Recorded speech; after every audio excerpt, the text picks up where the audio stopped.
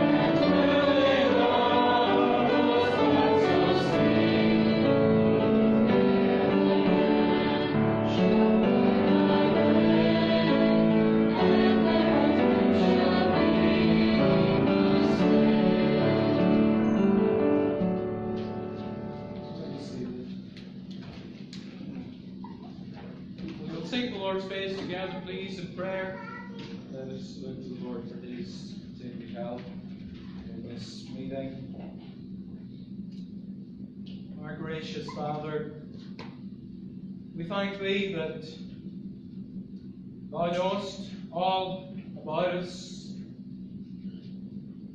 Thou art the omniscient God.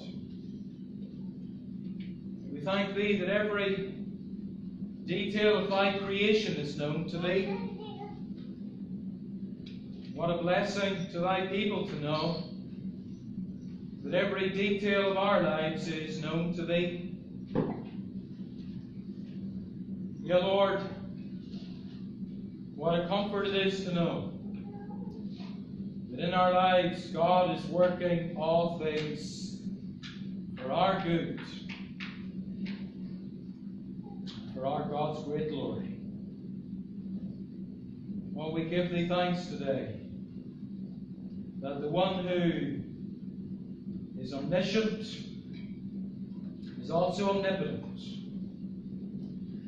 Oh Lord, we thank Thee that all power is our God's. Oh Lord, we thank Thee that that power is not only demonstrated in the unusual, but in the daily unfolding providence. God's special care over his people. Today, we lift up our hearts in worship that this God is our God. That every redeemed one in the meeting today can rejoice that on account of God's grace, we have been brought into union with Christ. Oh Lord, we pray today that in this meeting that we will truly sit at thy feet, that today we will be taught of thee, that today we will hear the Lord's voice ministering to us, that we will be instructed in the ways of righteousness, that we will be led on in progression and holiness, that today through the word that is read and preached, that we will be more conformed to the blessed image Lord, we cry to Thee that you'll not only minister today to the converted, but, oh Lord, speak today to those that are still lost, to those that are still without Christ. Open blinded eyes, we ask. We cry to Thee that we will see lost ones being drawn savingly unto thyself. O Lord, we cry to thee that thou wilt be pleased to deliver those that are lost from a wasted life, from a lost eternity. O Lord, may there be those today that are wakened up from wrath to flee. And give us a heart, we pray, for the lost all around us. O Lord, we cry to Thee that we will see the Lord work in the hearts of our loved ones that are not converted, in the hearts of those round about us here, where we live, in our workplaces. We cry to Thee that we will see the lost being drawn to our Saviour, counted into the number of the saved of the Lord. Oh Lord, we cry to Thee today that You will come and work in every family. We pray especially for our children and young people as they return to education this week. We pray for Thy preserving hand to be upon them. Oh Lord, we pray that they will not only know success academically, socially, but oh Lord, we pray that each one of our children and young people will be truly converted and walking in the ways of the Lord. Preserve them from the things of this world, we pray. Oh Lord, we pray that their desires will be after the things of Christ. Oh Lord, we do pray that you will move them in our company here today. We remember every faithful witness across this, this needy land. We pray very especially for our sister congregations. Minister there, we pray. Oh Lord, we ask that as the Word of God is preached, that there will be there also those signs following the preaching of the Word. So, Lord, we pray that every part of the meeting today will have the blessing of God upon it. Do us good in thy presence. Forgive us of our sins, we pray. Cleanse us afresh. In our Lord's name, we pray. We're going to turn again in our hymn books, please, to the words of the hymn 130. The hymn 130. Arise, my soul, arise. Shake off thy guilty fears. The bleeding sacrifice on thy behalf appears. 130. And we'll stand as we sing these words, and then after we sing these words, Brother Bevis is going to come with a message the church.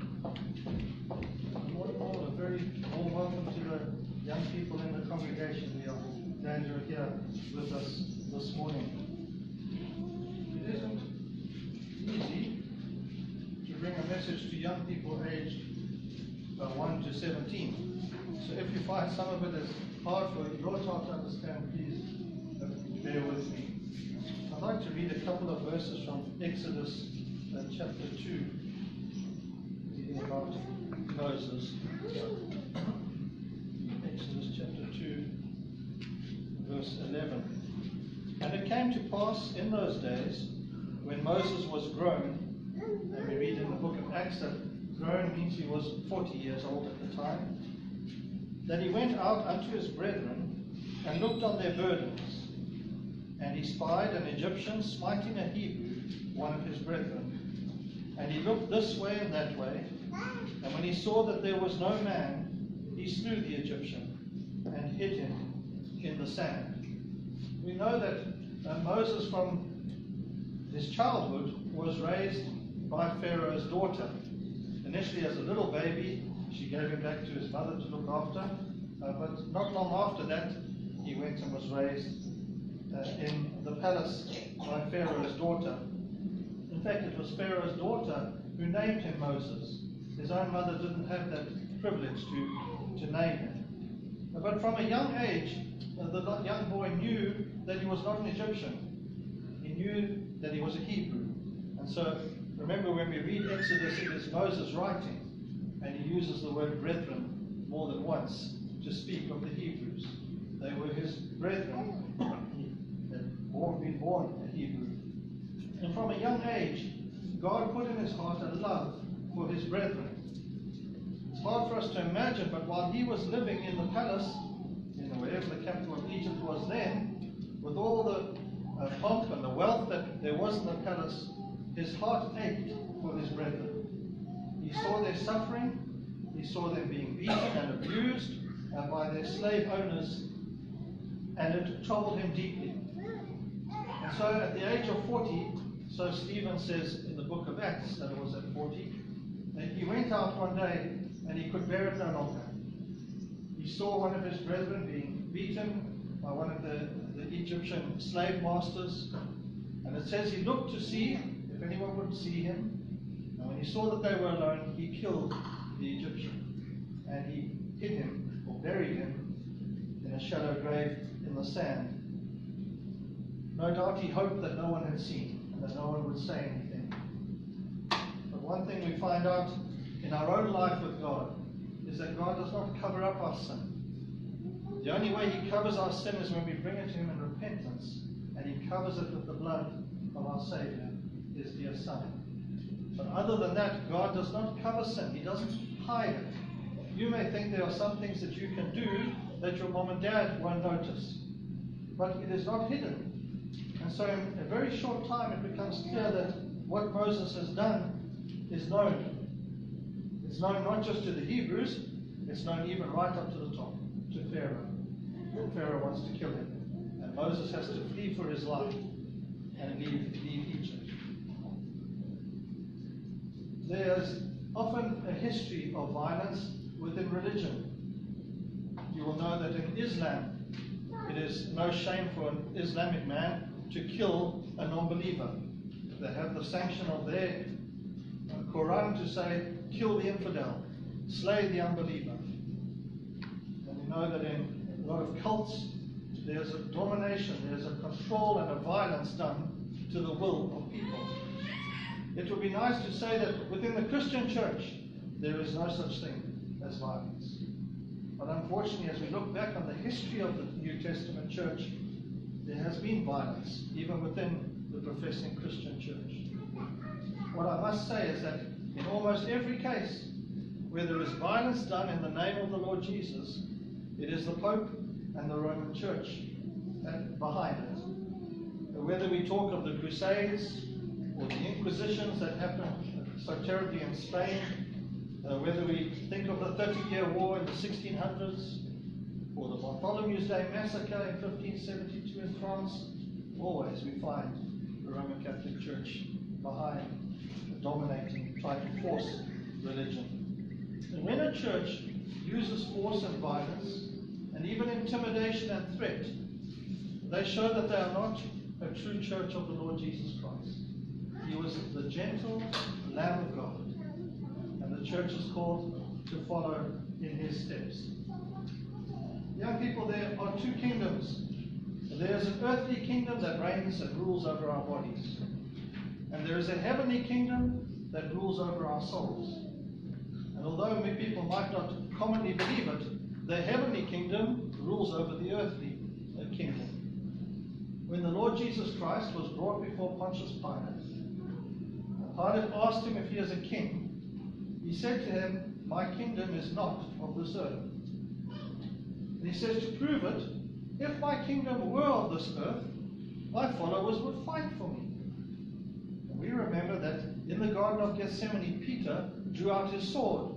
When he saw that they were going to capture Jesus by force, he drew out his sword and cut off one of the servant's ears. And as soon as he drew out his sword, the Lord Jesus said to him, Put up thy sword, Peter. Those who take up the sword will perish by the sword. Those who sow violence will reap violence. In other words, the Lord Jesus was saying, That is not my kingdom. It's not the kingdom of force and violence. This was something that Moses had to learn. For the next 40 years, we read very little about Moses, except that he is humbled as a shepherd on what he describes as the backside of the desert.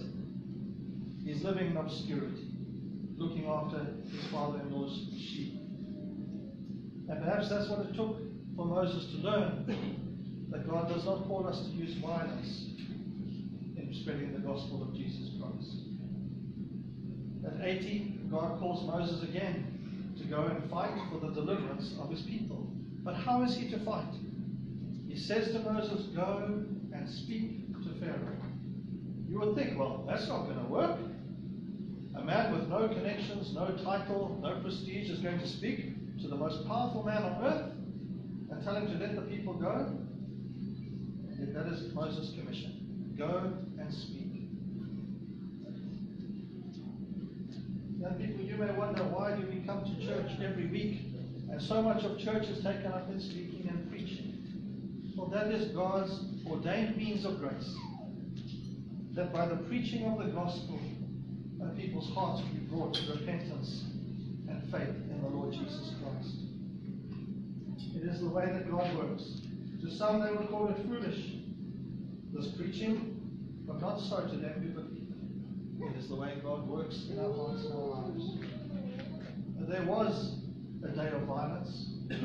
There was a day when a mighty battle was fought for your soul and mine. But the Lord Jesus Christ fought that battle alone. He had no help, physical help from man on that day. He fought it alone. And his calling to his people is to go and spread the gospel, to tell others about his gentle love for lost sinners like Let us pray. Our loving and gracious Heavenly Father, how we thank you for the gentle and the meek Lamb of God. We thank you, Lord, that he is not ashamed to call us his brethren, although we are sinful, though we have done nothing to help in our own redemption. Us his brethren if we believe in him. I pray for the young people here today. I pray that you would protect them uh, from all violence, and not just physical violence, but violence done to their wills, to force them to think and act in a certain way to conform. Oh Lord, may they hear the gospel. May they know the Lord Jesus for themselves and the sweet liberty that we have in Him. Lord, I pray that you would save each one and draw them to your dear Son. We ask in Jesus' name.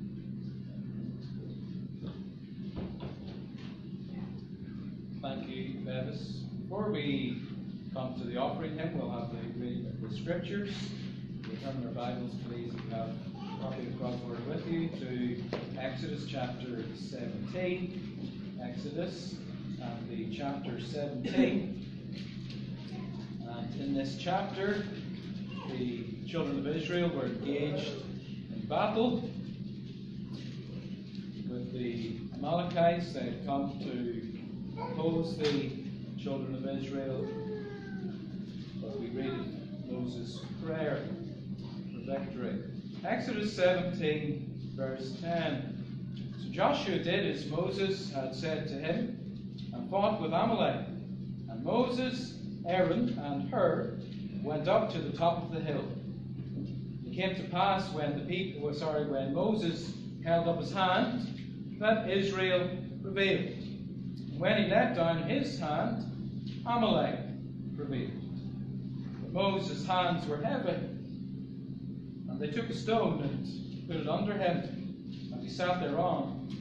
Aaron and Hur held up his hands, the one on the one side and the other on the other side. And his hands were steady until the going down of the sun.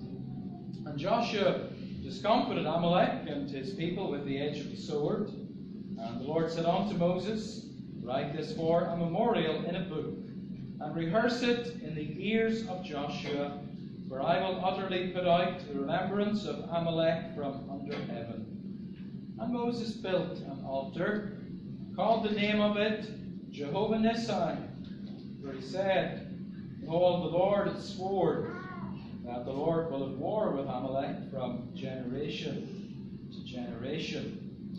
Then we'll turn, please, to the New Testament, the Gospel according to John, and the chapter 14. John chapter 14. The Lord here in the upper room. John 14 and verse 15. John 14, verse 15. If you love me, keep my commandments. And I will pray the Father, and he shall give you another comforter, or another helper, another advocate, that he may abide with you forever even the Spirit of truth, whom the world cannot receive, because it seeth him not, neither knoweth him. But ye know him, for he dwelleth with you, and shall be in you. I will not leave you comfortless, or I will not leave you as orphans. I will come to you. Yet a little while, and the world seeth me no more. But ye see me, because I live, ye shall live also. At that day ye shall know that I am in my Father and ye in me, and I in you. He that hath my commandments and keepeth them, he it is that loveth me. He that loveth me shall be loved of my Father. I will love him and will manifest myself to him. Judas saith unto him, not Iscariot, Lord, how is it that thou wilt manifest thyself unto us and not unto the world? Jesus answered and said unto him, if a man love me, he will keep my words, and my Father will love him. We will come unto him and make our abode with him. He that loveth me, sorry, he that loveth me not, keepeth not my sayings. The word which ye hear is not mine, but the Father's which sent me. These things have I spoken unto you, being yet present with you. But the Comforter, which is the Holy Ghost, whom the Father will send in my name. He will teach you all things, and bring all things to your remembrance, whatsoever I have said unto you. And we'll end there, knowing the Lord will add his blessing to the reading of his precious truth. We're going to turn in our hymn books, please, to the hymn 634. 634. As we sing these words, the offering will be received. If you didn't come prepared for an offering, please just let the bag pass by. 634. What various hindrances we meet in coming to your mercy seat. 634, remaining seated.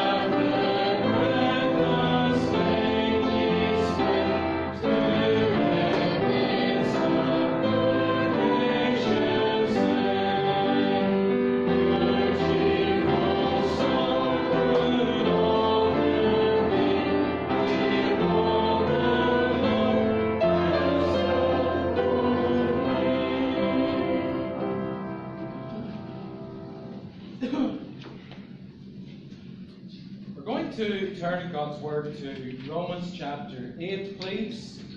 Romans and the chapter 8.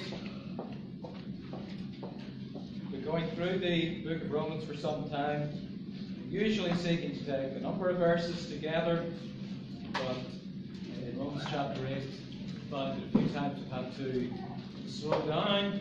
Um, doing that again this morning and just taking another two verses. Romans chapter 8 and the verses 26 and 27. In Romans 8, 26 and 27, we were singing there about hindrances in coming to the mercy seat. And Paul here describes, in particular, one of these hindrances. Romans 8, 26. Likewise, the Spirit, the Holy Spirit, also helpeth our infirmities. For we know not what we should pray for as we ought. But the Spirit itself, or the Spirit Himself, maketh intercession for us with groanings which cannot be uttered. And he that searcheth the hearts knoweth what is the mind of the Spirit, because he maketh intercession for the saints according to the will of God. We will seek our Lord's face together, please, in prayer. And let us look to the Lord for His help as we come and meditate upon His truth. Our gracious Father, we thank Thee for all that we have heard already today. We thank Thee for the peace in the gospel of Jesus Christ. And we thank Thee for that effectual operation of the Holy Spirit within the hearts of men and women, drawing them to Thyself, and for the absolute transformation that a sinner that long resisted now comes love. Oh Lord, we pray for the operation of the Spirit as we come now and meditate upon Thy truth. Even as we think over this particular work of the Holy Spirit, grant us help to understand. And Lord, we pray that we will live in the enjoyment of the comfort that Paul is giving here for any in our gathering still lost. Oh Lord, we pray that they will see their great lack today, they will be drawn to thyself. Grant that needed help, we do pray. And help of the Holy Spirit. In Christ's name we ask. Amen. Charles Dickens, the famous novelist, said, No one is useless in this world who lightens the burdens of another. No one is useless who lightens the burdens of another. Now, Dickens, of course, as he wrote those words, was speaking from a secular point of view, uh, and yet as Christians we can identify that it's absolutely true. That we are to bear the burdens of others. Galatians 6, verse 2 Bear ye one another's burdens, and so fulfill the law of Christ. Bear one another's burdens. And I think then we can easily understand Martha when she came to the Lord when Jesus was in her home, and she was saying, I ask Mary to come to help me. Tell Mary to help me with this kitchen work. Now we know that Martha had got things out of proportion. And we know that it was Mary that had chosen the good part. And yet still I think we can understand Martha. That when she was so preoccupied with the work of the kitchen, that she felt it was difficult to do it alone. She wanted someone to come and share that burden. And when she said, Bid Mary come and help, she wasn't saying, Tell Mary to come so that I can go and sit down. The particular word that she used shows that she meant that Mary would come and assist. Martha would continue with the work in the kitchen, but Mary would be there to help. It's interesting that that same word that Martha used for help is the word that Paul uses concerning the help that the Holy Spirit gives to the child of God in prayer. Romans 8:26. The Spirit also helpeth our infirmities. And the word is showing us the Holy Spirit does not come to take over. The Holy Spirit does not come and say to the Christian, You're struggling in prayer, just give up on it. You have a rest. I will pray instead for you. No. The Holy Spirit helps so that we would keep on praying. That we would be assisted. The Word has the idea of helping with a burden. And so this word brings out the idea then that the Christian in prayer often feels that he's carrying a burden. And Paul says here is comfort. The Holy Spirit comes to help bear the burden.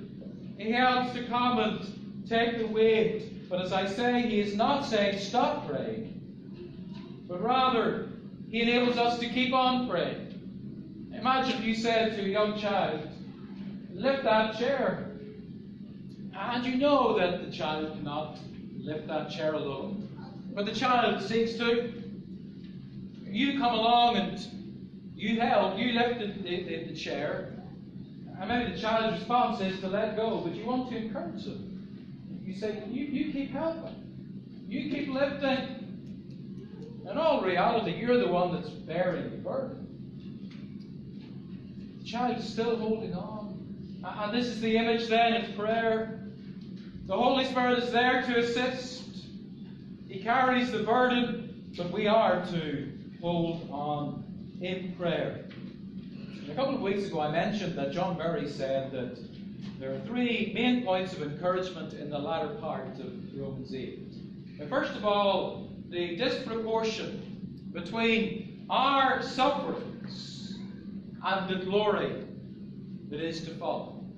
Now, our sufferings in this life, in this life, seem great, but actually, they're small in comparison with the great glory that is to follow. Then there's this area where the Holy Spirit comes to help in our infirmities. And then thirdly, all things work for our good. And second one of these then we want to look at today, the Holy Spirit sustaining us in our infirmity. The Holy Spirit helping us in prayer. Now remember, the whole theme of this chapter is no condemnation. The believer is secure in Jesus Christ. But Paul understands when he says to the Christian, You are secure, you're not condemned. That some Christians will say, Well, if that is the case, why am I experiencing this? Why do I feel like this? And in this example, if I am really secure in Christ, if it's true I'm not condemned, why am I struggling in prayer? If I'm truly secure, how is it that sometimes when I come to pray, I don't even know the right words to say? Paul, in fact, says, You feel like that? So do I. Paul is saying there are times I come to pray, I do not know what to pray, what are the right words to say. The Spirit also helpeth our infirmities. We know not what we should pray for as we ought. This is the experience of the Christian in this life. And so Paul is saying this is not an argument against no condemnation but rather seeing that we are not condemned. For those that are truly not condemned, if we see that we are not condemned, that truth is a comfort to me in this crisis of prayer. And I see because I'm not condemned, the Holy Spirit has not abandoned me. Rather, he comes to help me in prayer that I might continue. And so I want us then to consider together the burden and the bearer in prayer. The burden and the bearer in prayer. I want to say, first of all, the burden of the saint. The burden of the saint. And Paul takes one aspect of our infirmity, infirmity of prayer. And then he takes one very particular aspect of our infirmity in prayer, this struggle as far as the, the words is concerned. Now, the words can be translated here, and it's not good English, that's why it's not translated that way.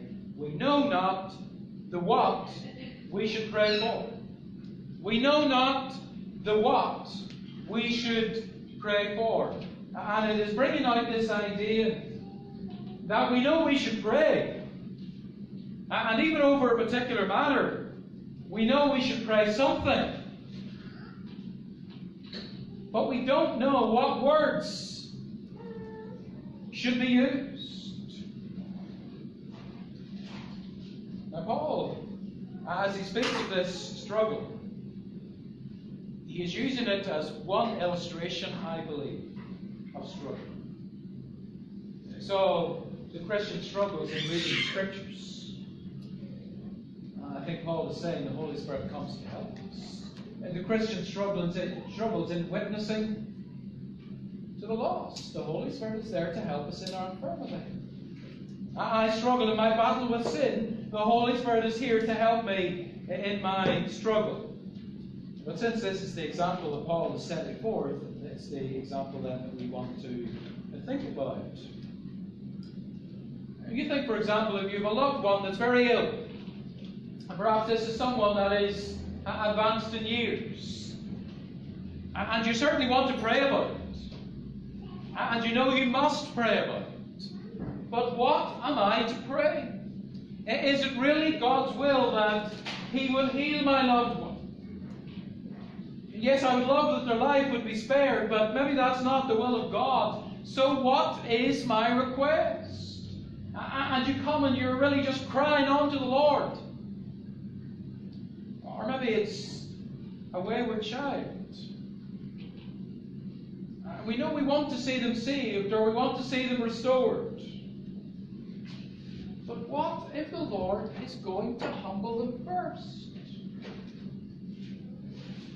What if your wayward one must have the experience of the prodigal? He must be brought, as it were, to the pigsty. And you come and you pray for this loved one in prayer and you're agonizing over it. You don't want them to have to go through that. And yet you understand that maybe they will have to. But you struggle, how can I pray? Or maybe it's in some area of dispute in life and you hold a particular view in the matter. And yet before the Lord you recognize, I just can't pray, Lord, may my side were win. How can I pray? Here is our infirmity. Now, why do we have this struggle? Why do we have this infirmity? Sometimes it's because of our ignorance. we do not have full sight. In 1 Corinthians 13 12, it says, Now we see through a glass darkly. We understand that there are different views over the meaning of that particular text. Some think that what Paul is saying is that in the time prior to the completion of the canon, that God's people had limited vision, but there would be perfect vision with the completion of the canon. Uh, I find that to be attractive, but I don't think that's what Paul is actually saying. Rather, the view of the old writers is that the imperfect sight is this present time. We do not yet see face to face. There are many questions, many perplexities, many things that we do not yet understand. We don't even know what's best for ourselves. And so we know not what to pray for as we ought. Or the problem could be our unbelief. We come to pray, and again, we're praying over a particular scenario, and maybe we would say, Well, I would love to pray this, but could the Lord really answer in that way?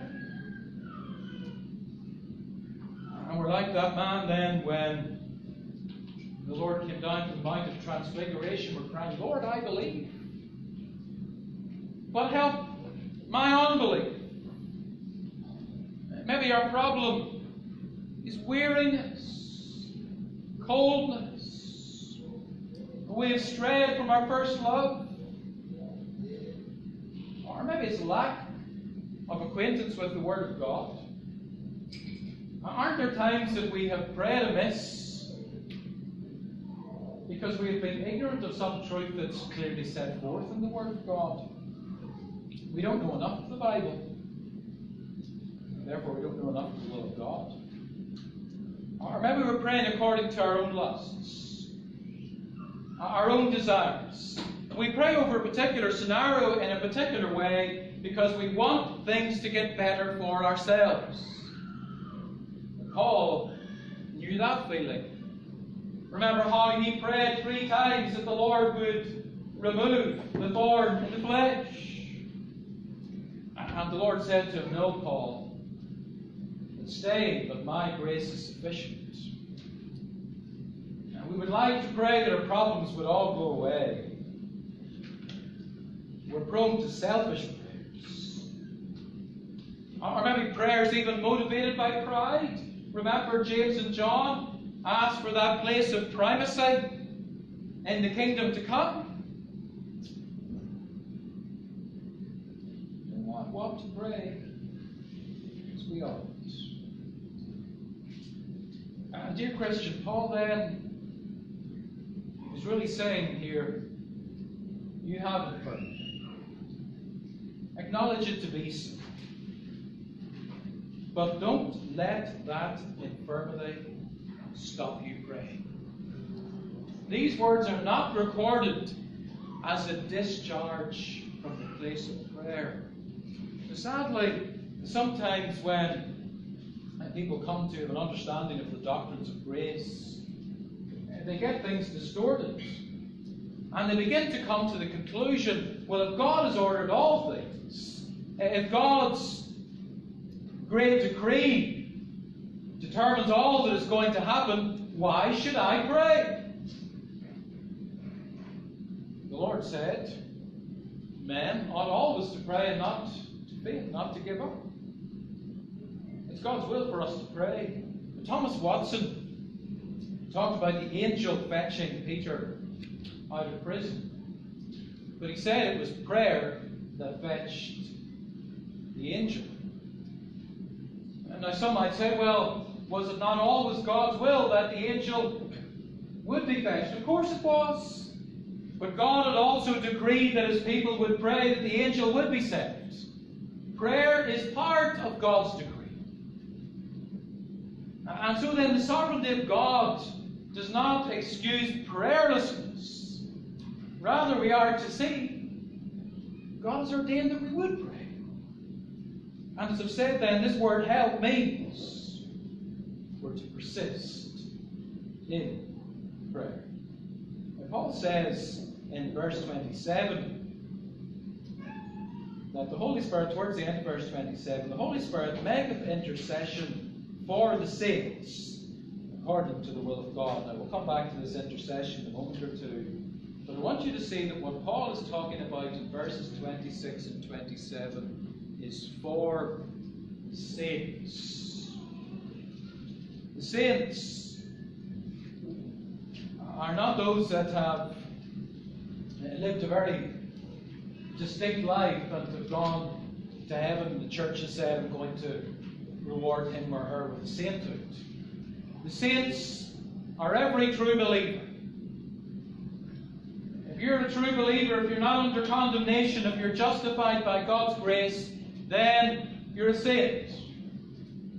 And this help is for the saints. It reminds us that that the Lord hears the prayers of. So often, God's people can be exhorting the unconverted to pray. It's not something you find in the Word of God. We certainly do exhort them, we appeal to them to cry unto God for mercy. But in this, or in these two verses, they're not included.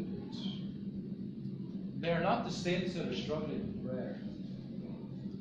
And it really brings, brings us back then to Paul's point earlier in chapter, chapter 8, verse 9. If any man have not the Spirit of Christ, he's not his. The one who's not yet born again, he doesn't have the Holy Spirit. And in his infirmity, he doesn't have one to help. And Paul really is saying to those that are not converted, you need to see your lack. That what the Christian has, you do not have. And you won't have it until the Holy Spirit is in you. God's command then to you is repent. Believe the gospel. Come to the Lord for mercy. If any man have not the Spirit of Christ, it's none of his. So we've seen here the burden of the saints. I want to see then, secondly, the bearing of the Spirit. This support that the Holy Spirit gives to the Christian. And the Christian then in these verses is to see, I am weak. And I need the Lord's help. I try to take hold of God. But praise God, the Holy Spirit takes hold of me. And how does the Holy Spirit help with these groanings. Likewise, the Spirit also helpeth our infirmities, for we know no, we know not what we should pray for as we ought, but the Spirit Himself maketh intercession for us with groanings which cannot be uttered. The Spirit, the Holy Spirit Himself, maketh intercession for us. Now, what are these groanings? Before I try to explain what they are. I'm going to say what they are not. For there's some that take these words in Romans 8:26 to teach tongue speaking. Now tongues are not mentioned in these verses, nor are they in view. And the reason why some claim this as tongues is because of a current day practice.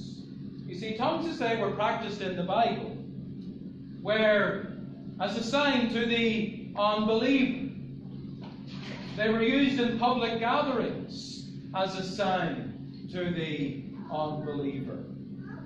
But today, tongues, and I don't believe it's true biblical tongues, but tongues are used in private.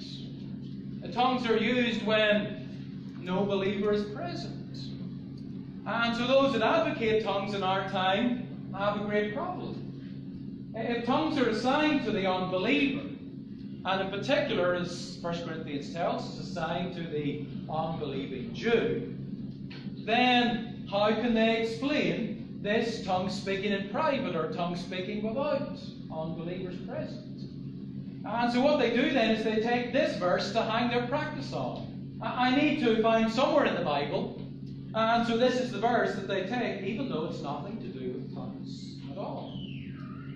And their practice then in relating it to this text is what we call eisegesis, not exegesis. That is, they're reading something into the text that is not there, rather than explaining what the text actually means. And out of this then comes sometimes very bizarre teaching uh, Uh, advocated by those that speak in tongues, and not everyone that speaks in tongues will carry all of this, but some do.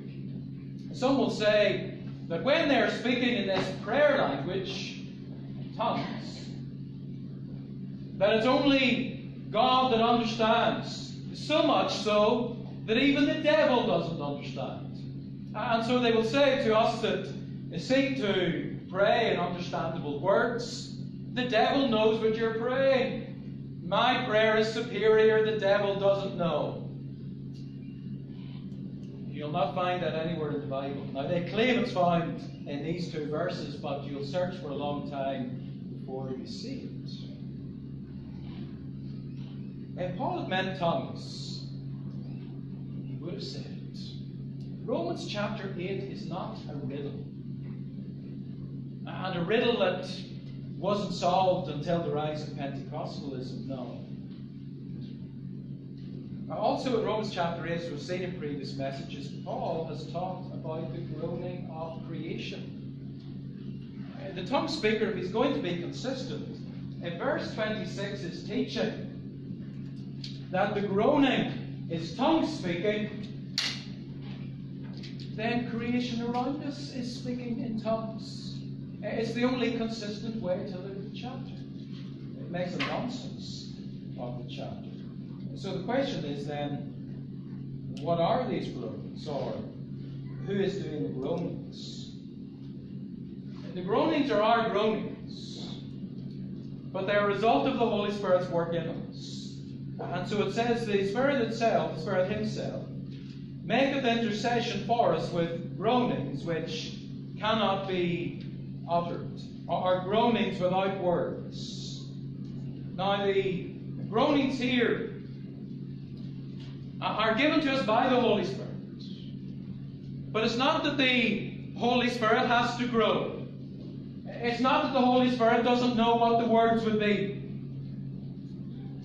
Remember in Galatians 4, verse 6, it says, God has sent the Spirit of His Son into our hearts, crying, Abba, Father. Now, the Holy Spirit, His personal cry is not Abba, Father. But He has put that cry into our hearts. And so it is here. The groans are not the personal groans of the Holy Spirit, but the Holy Spirit has put them into our hearts. We groan. And the Holy Spirit then makes effective and effectual intercession for us. And that word intercession has the idea uh, of Him praying on our behalf. And so we are groaning. Our prayer at times may be little more than a cry. And yet the Holy Spirit perfects it. Where the Holy Spirit makes intercession for us. And as we read here, according to the will of God. And the words then of these two verses correspond uh, so clearly to what the Lord was teaching in the upper room. We read earlier in John chapter 14. I pray the Father, and he shall give you another comforter. He'll give you an advocate. Or the word is the idea someone who will draw alongside you. And this is what happens then in our prayer struggle. The Holy Spirit comes alongside us. He is this comforter. He is this advocate. That same word is used in the New Testament of Christ. Jesus Christ is our advocate in heaven. And today, Jesus Christ then pleads before the throne. Have an advocate in him, Jesus Christ the righteous. But then Paul says here, we also have an advocate in our hearts the Holy Spirit comes near. A.W. Pink explains this beautifully in his commentary in Exodus, where in Exodus 17, Moses was in the mountain praying. And so we read the words earlier. Moses, as he was praying, when his hands were up, the children of Israel were gaining victory. But then in weariness, his hands would hang down and the Amalekites were getting the upper hand over the Israelites. So Aaron and Hur came. Moses sat on a rock, he sat on a stone. Surely it speaks of our position in Christ. As we pray, we are seated in Christ. But Moses had two helpers then. On one side, Aaron held up his hand. On the other side, Hur held up his arm. And Pink argues then that the child of God today has two helpers in prayer. We have our heavenly Aaron, our heavenly high priest, our Lord Jesus Christ. Today, when you come to pray, you have no right in yourself to pray. But the way is opened up through our high priest. And praise God, not only does he help us, but he intercedes for us in glory. But then Pink argues that Hur speaks of the Holy Spirit. That the Holy Spirit is where is holding up our honor. He's there to assist us in our prayer. And we can see then the operation of the Trinity. That Christ appears before the Father, pleading in our behalf. The Holy Spirit is making this intercession according to the will of God. And the Father you think of the Romans, as Paul was addressing here, there was the threat of violence that we heard of earlier. Among the congregation, uh, undoubtedly there was that question will we be cast to the lions? Perhaps as they came to pray, they knew not how to pray as they ought. It was their infirmity. But Paul says the Holy Spirit is there to help you. Maybe in your life you've lost out in joy. You come to pray about it, but you don't know how to pray as you. The Holy Spirit comes, He makes intercession. At times then, like Hannah. Remember how she came to pray for a son? That was certainly her desire. She could frame that much. Remember how her lips moved, but no words actually came out. I believe Hannah was one that was filled with the Holy Spirit.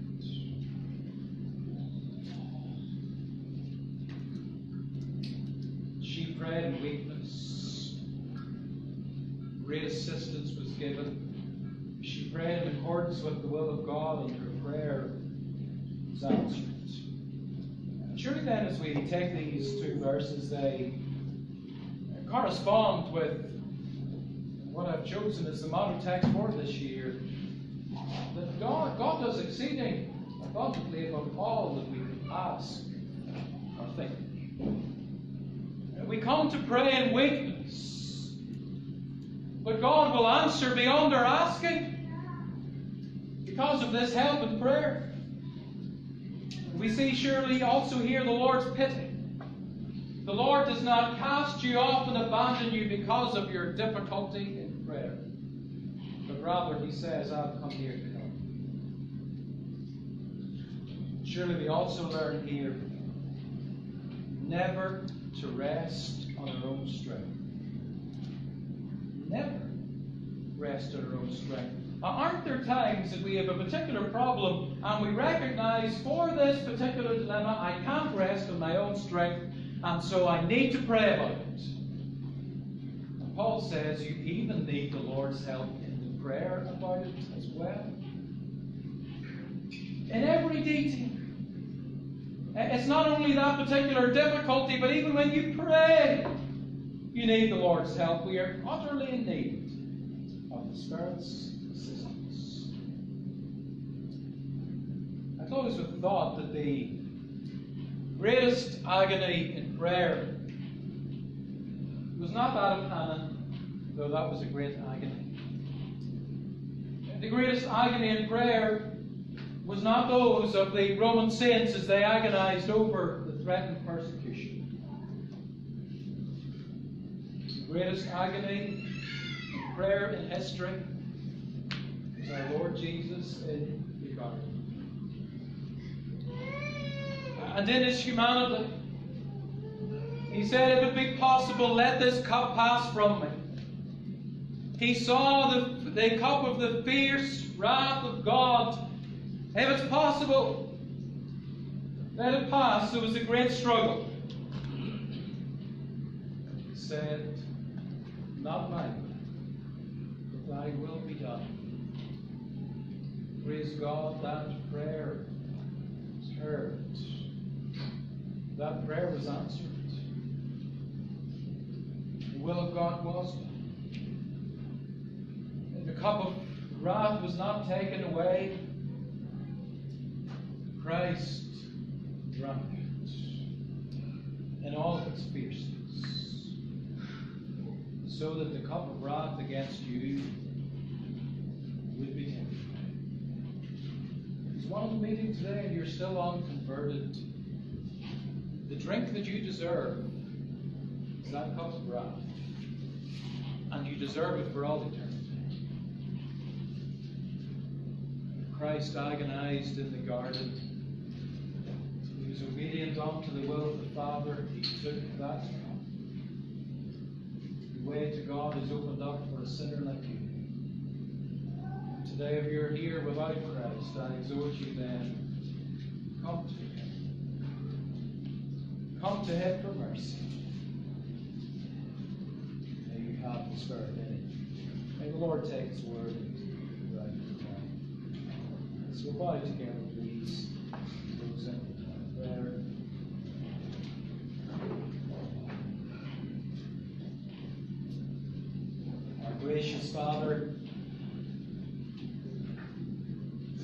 Thank Thee for your help today.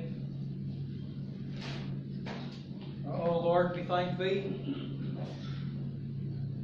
that in prayer the struggling saints are helped.